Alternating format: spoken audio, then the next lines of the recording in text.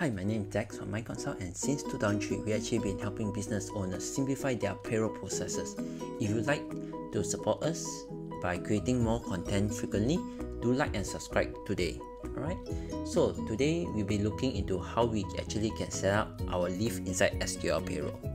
Okay, so the first thing you will need to do is to create the different leave type. All you just need to do is you come to leave, come here to maintain leave type.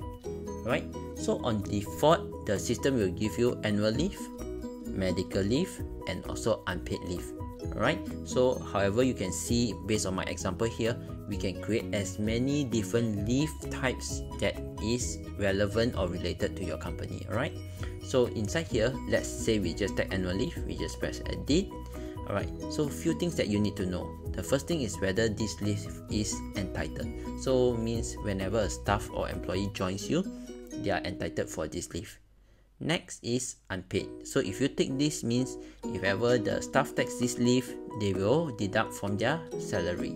And finally, if you allow to bring forward, then you must take brought forward. Alright. The next thing that you also can pay attention to is actually there's a color. So for companies that like to see it from an overview, they can actually select different color for different type of leave. So on an overview level, you can see oh this stuff take annual leave or medical leave or unpaid leave, right? Okay, so once we are done, we just press save.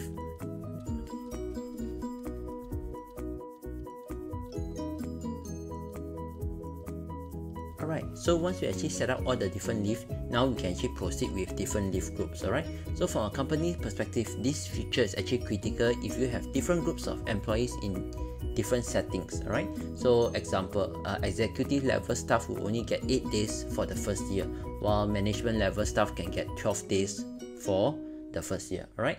So let's say today we want to create a leave group for management. So come here to leave, come here to maintain leave group, alright so we press new and then here we say mgt management alright?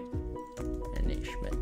Okay so here we just need to press plus to the add all the different type of leave that this group is entitled to right so first thing is annual leave we come here to entitled. So from here we can select okay example from the first year to the second year they get 12 days.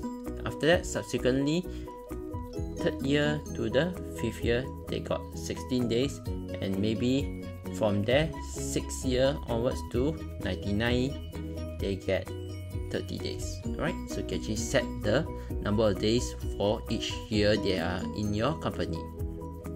Okay so the next thing that you need to be aware of is how are you going to calculate the leave.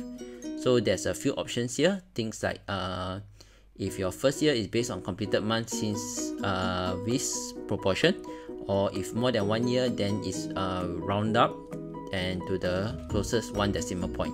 If not then you can even round it to the closest day if you select this option alright? So you can choose which one that's more suitable for your operation. Right next that you know just now remember we select annual leave. We say that this annual leave is allowed uh, to be brought forward okay so some companies they also set a limit of how many days they allow an employee to carry forward their leave. So this is where we can just set it up here. Press the three dots here. Press carry forward balance here and we can set this leave maximum they can carry for is five days. All right press ok and for this example we're just going to create one leave type and we just press save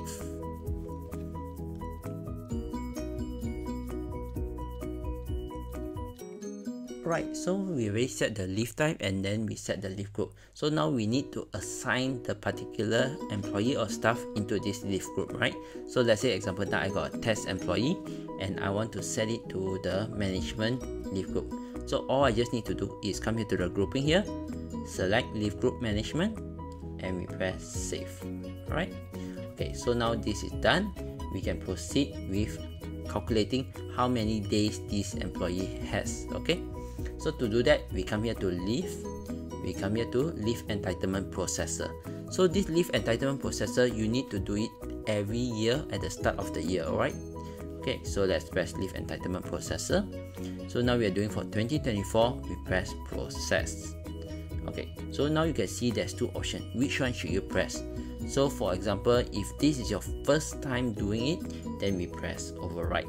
If for example you already made some amendments and you want to keep those amendments then you press open.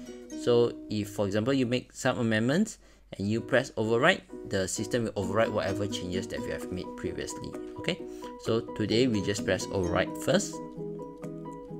The system will then calculate how many days each employee has for the year right and if you can see there's no leave that's more brought forward that's more than five right so this is actually how easy it is to set up the leave inside SQL Payroll if you have a topic you'd like us to cover do leave a comment below. Thanks